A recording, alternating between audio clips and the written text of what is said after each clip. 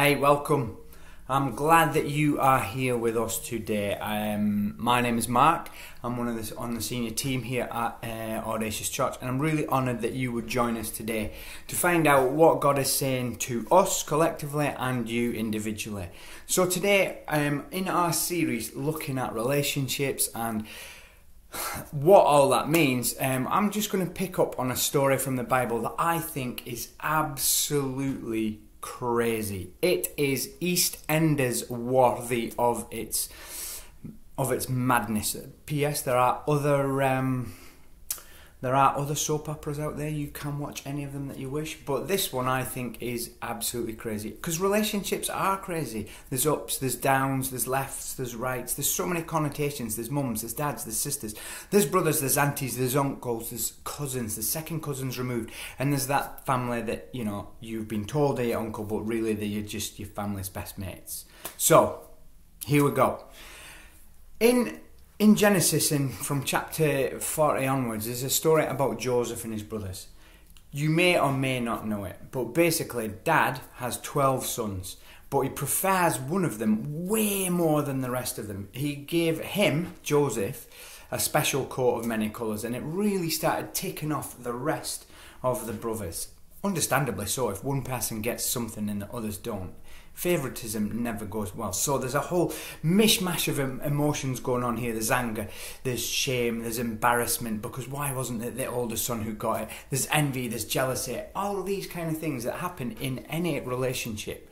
So it's kicking off. And one day the brothers get really ticked off with Joseph, who, who unwisely been, you know, there saying he was great, he was brilliant, the brothers would look to him in the future they got ticked off and one day they get rid of him. First of all, they plan to kill him and throw him down a well, but then they saw some people who were slave traders and they sold him. Told his dad that he'd been ravished by wolves, all that kind of stuff, and that's it. So you've got a dad who's now upset because his favourite son's gone. He's sad, he's upset. Maybe you've got some guilt going on with some of the brothers. It's just messy. But in truth, do you know what? Relationships can be messy. But God is really intriguing. I believe that relationship is one of His ways of getting us to become the people that we're supposed to become. He's looking for us to become as much like Jesus as we can.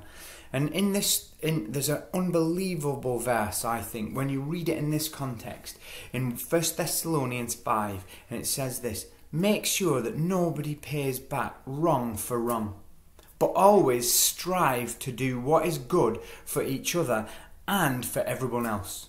We're going to unpack that a little bit later. But there's a moment later in Joseph's story when the brothers are starving and come to Egypt, where Joseph has ended up and is now the prime minister of the country.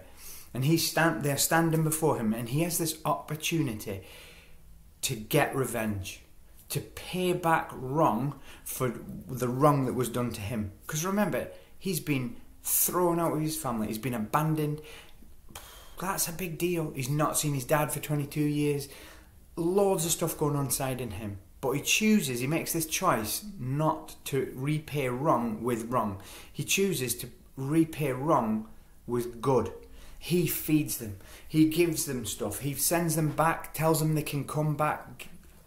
And in the end, there's this beautiful moment when the family is is reconciled. He meets his dad again, and Joseph says this, "Hey, come close to me." And when they'd done so, he said, I am your brother, the one you sold into Egypt. And now do not be distressed and do not be angry with yourselves for selling me here, because it was to save lives that God had sent me ahead of you. For two years now there's been famine in the land, and for the next five there will be no ploughing and reaping. But God sent me ahead of you to preserve for you a remnant on the earth and to save your lives by a great deliverance. My mind's blowing the relational tension that there would have been in that room and in all of that experience would have been huge. But you know what? Joseph took on the character of Jesus at that point and was forgiven and did good. And I think that's what we're asked to do in every relationship. Let me boil it down. It might be small. Today, you're in work and a co worker takes credit for something you did. That hurts. It's not nice. But what the Bible's saying here in 1 Thessalonians 5 is strive to do good for each other. Don't repay that wrong. So let, don't let your flesh talk about that guy or girl behind their back. Don't let your flesh try and get them back. Do good to them. Buy them something, pray for them, be do good towards them. That's a little tiny example. It might be you're driving today and you get caught up. Don't let your flesh rule you and be all like, rah, rah, rah. bless the person. Let's do good. But it might be something here that you've got a bigger relational issue with family members or people who've upset you, disappointed you, hurt you, let you down. Maybe you're jealous, maybe angry, maybe I don't know where it will be, but right now I pray that the Holy Spirit is, is, is illuminating things to you. And let's see what God's saying. I think God is clearly saying to us from 1 Thessalonians 5, He's saying, hey, it's possible to forgive. Nobody said it was easy. Nobody said it was going to be simple. Joseph had 22 years to walk through what was going on in his heart. But in 1 Thessalonians 5 it says, always strive to do what is good for each other and everyone else.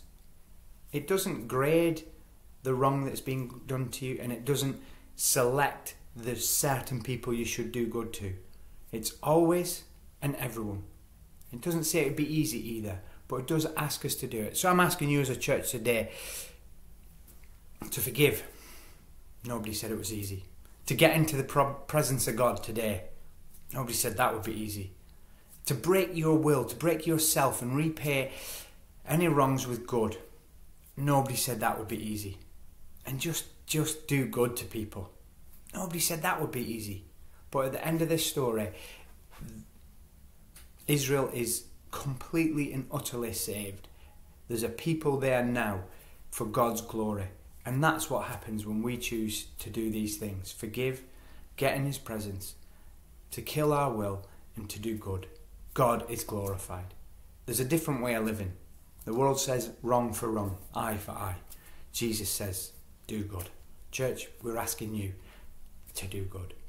I really will pray that today God can break through, can speak to you, and can help you to be the witness that He's asking you to be so that He's glorified and we make a difference on this planet.